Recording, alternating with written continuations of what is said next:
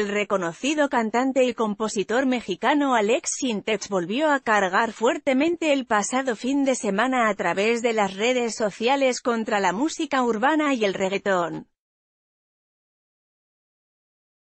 El artista no dudó en tildar de «música de antro pornográfica» el tema musical «Bonita» que interpreta J Balvin junto a Joel y Randy luego de que la canción comenzara a sonar de fondo mientras Intex se encontraba desayunado a las 10 de la mañana en un aeropuerto.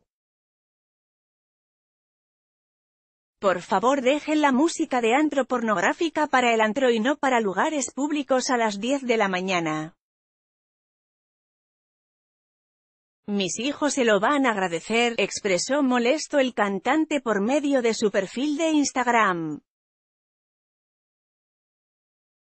Paren de hipersexualizar a los niños por favor, le están haciendo mucho daño, pidió Alex en un segundo mensaje que compartió en la citada red social.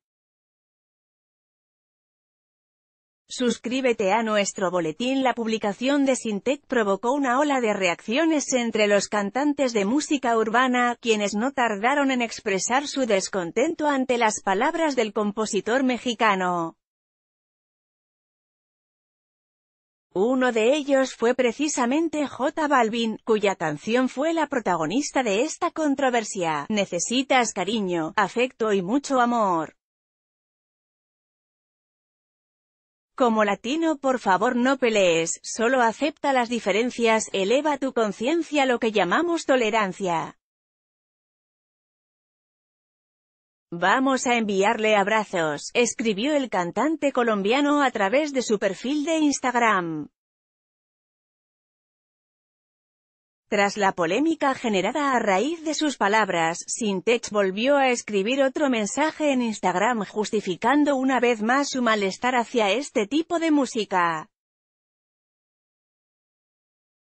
Queridos todos, ustedes lo saben, que a mí solo me interesa el bien común, me preocupa el mundo que estamos heredando a nuestros niños.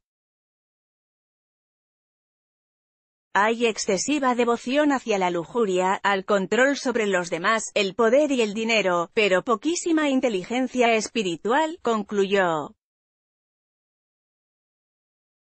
El tema musical, Bonita, tiene más de 360 millones de visualizaciones en YouTube desde que fuera publicado en junio del año pasado. El intercambio de mensajes entre Alex y J Balvin vuelve a poner sobre la mesa el viejo debate acerca de si este tipo de música es perjudicial o no para la sociedad. ¿Tú qué opinas?